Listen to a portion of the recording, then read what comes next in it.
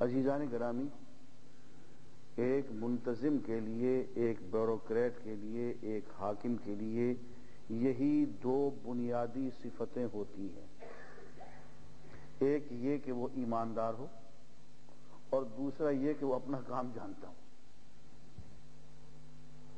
ان دو صفتوں میں سے ایک صفت غائب ہوگی تو وہ ناکام انسان ہوگا۔ ہمارے عام طور پہ جو لوگ کام جانتے ہیں وہ بڑے بے ایمان ہوتے ہیں۔ اور عام طور پہ جو ایماندار ہوتے ہیں وہ کام چور ہوتے ہیں۔ اس سے بھی کام نہیں بنتا، اس سے بھی کام نہیں بنتا۔ فرمایا دونوں چیزیں ہونی چاہیے۔ حفیظ اور علیم امانت دار اور کام کو جاننے والا۔ یہی بات ایک اور جگہ بھی کہی گئی ہے۔ حضرت شعیب علیہ السلاۃ والسلام کی بیٹی حضرت موسا علیہ السلاۃ والسلام کے بارے میں کہتی ہے، یا ابا تستاجر ہو اے ابا، اس کو نوکر رکھ لو۔ ان خیر من استاجرت القوی الامین۔ بہترین نوکر وہ ہوتا ہے جس میں دو صفتیں ہوں۔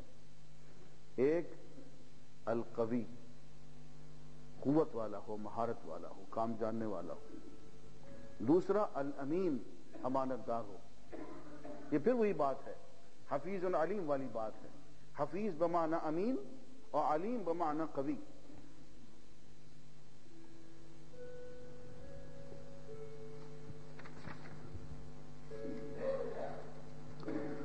آیت نمبر سڑسٹھ۔ قال یا بنی، لا تدخلوا من باب واحد۔ وادخلوا من ابواب متفرقہ۔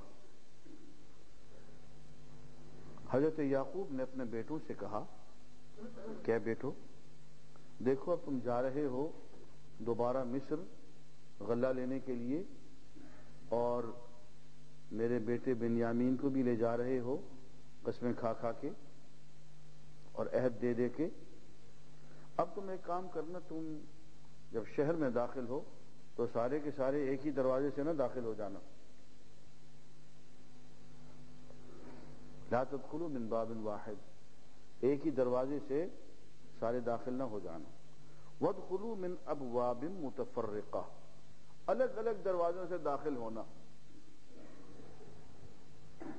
اب باپ ہے، بیٹوں کی سیکیورٹی بیٹوں کی جان کی ہر چیز کی اس کو فکر ہے۔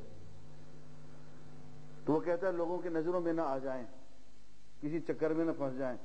میاں الگ الگ ہو کے آنا، ایک ہی شکل کے گیارہ آدمی جا رہے ہوں تو خاموہ شک پڑے گا کہ کوئی کہیں واردات کرنے تو نہیں جا رہے۔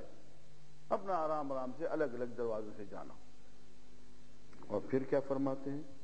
وَمَا أُغْنِي عَنْكُم مِّنَ اللَّهِ مِن شَيْءٍ۔ اور خدا کی طرف سے تمہارے لیے جو ہو کر رہنی ہے اس سے تو میں تمہیں بچا نہیں سکتا۔ دیکھیے نبی کے الفاظ پہ غور کیجیے وہ ماں اگنی ان میں تمہیں نہیں بچا سکتا۔ من اللہ من شیء اللہ کی طرف سے کسی چیز سے جو ہو کر رہنی ہے۔ اللہ نے ایک پروگرام تمہارے لیے بنا رکھا ہے۔ جو بھی ہے۔ اس سے تو میں تمہیں نہیں بچا سکتا۔ ہوں تمہیں جس چکر میں پڑھنا ہے، وہ تو پڑھ جاؤ گے۔ تدبیر میں تمہیں بتا رہا ہوں۔ کہ دیکھو، اکٹھے ایک دروازے سے نہ جانا، احتیاط سے الگ الگ جانا، مختلف دروازوں سے، تاکہ لوگوں کی نظروں میں نہ ہو کسی چکر میں نہ پھنسو۔ پردیش ہے، غیر حکومت ہے، غیر لوگ ہیں۔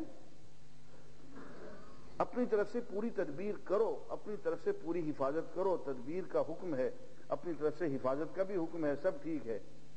لیکن جو ہو کر رہنی ہے میرے بیٹوں، میں اس سے تمہیں بچا نہیں سکتا۔ یہاں سے ایک بات تو یہ ہے، سبق ہمیں اللہ کا نبی دے رہا ہے کہ آدمی اس چکر میں نہ پڑے کہ یار جو ہونا ہے ہو جائے۔ ہمیں احتیاط کرنے کی کیا ضرورت ہے؟ یہ غلط بات ہے۔ بیک وقت احتیاط بھی کر رہے ہیں، تدبیر بھی کر رہے ہیں، اور ساتھ کے ساتھ اللہ کی رضا پہ راضی ہونا بھی سکھا رہے ہیں۔ کہ دیکھو تدبیر کر لو، احتیاط کر لو، اس کے بعد جو اللہ کی طرف سے ہونا ہے، وہ ہو کے رہے گا، اس کے لیے بھی تیار رہنا۔ اور دوسری بات اس سے یہ بھی ثابت ہو گئی کہ ہمارا عقیدہ بڑا ہی فاسد عقیدہ ہے۔ اگر ہم کسی ولی کو، کسی قبر والے کو سمجھتے ہیں کہ وہ قبر میں پڑے پڑے، ہاتھ یوں نکالتا ہے اور یوں سے یوں کر دیتا ہے اور یوں سے یوں کر دیتا ہے۔ وہ بھائی ایک باپ اپنے بیٹے کے بارے میں اور وہ بات جو اللہ کا رسول ہے، نبی ہے، وہ کچھ نہیں کر سکتا۔ وہ کہتا ہے، میرے بس میں نہیں ہے بھائی۔ جو ہو کے رہنا ہے، وہ ہو جائے گا۔ تدبیر میں تمہیں بتا رہا ہوں، وہ تم کر لینا۔ اور جو چیز سکھا رہا ہے، وہ اللہ کی تقدیر پہ راضی ہونا سکھا رہا ہے، اس پہ راضی ہونا۔ ان الحکم الا للہ۔ فیصلے تو اللہ کے چلتے ہیں۔ جو طے کرتا ہے وہ وہی کرتا ہے۔ جو پروگرام بناتا ہے وہی بناتا ہے۔ حکم اسی کا چلتا ہے۔ تدبیر ہم کر لیں گے، احتیاط ہم کر لیں گے، دوائی ہم کھا لیں گے، دعائیں ہم مانگ لیں گے۔ لیکن ان الحکم الا للہ۔ فیصلہ تو اسی کا ہوگا۔ پروگرام تو اسی کا چلے گا۔ منصوبہ تو اسی کا ہی آئے گا۔ فرمایا، علیہ توکل، یہ ہے اصل تعلیم۔ علیہ توکل، میں نے اس پہ بھروسہ کر رکھا ہے کہ اب وہ جو کچھ کرے، تم تدبیر کر لو، لیکن تمہاری ہی تدبیر کے نتیجے میں، یا تمہاری تدبیر کے باوجود اگر پھر بھی تم گرفتار ہو جاتے ہو، پکڑے جاتے ہو، کسی الزام کی زد میں آ جاتے ہو، قید میں آ جاتے ہو تو اب وہ جو کچھ بھی کرے گا، مجھے اس پہ بھروسہ ہے، وہ ٹھیک ہوگا۔ اس پہ رونا دھونا نہیں ہے۔ علیہ توکل تو۔ تدبیر ہماری ہے، لیکن پروگرام اس کا چلے گا۔ اور ہماری تدبیر نہیں چلے گی، اس لیے نہیں چلے گی کہ وہ غلط ہوگی۔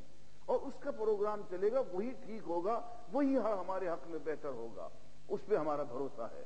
علیہ توکل۔ میں نے اس پہ بھروسہ کر رکھا ہے۔ ہم سے ہمارا وہ زیادہ خیر خواہ ہے۔ اور فرمایا علیہ فل یتوکل المتوکلون، اور بھروسہ کرنے والوں کو اسی پہ ہی بھروسہ کیا کرنا چاہیے۔ اور بھروسہ کرنے والے اسی پہ ہی بھروسہ کیا کرتے ہیں۔ بسم اللہ۔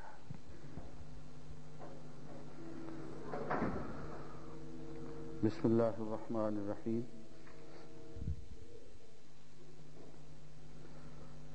قال إنما أشكو بثي وحزني إلى الله وأعلم من الله ما لا تعلمون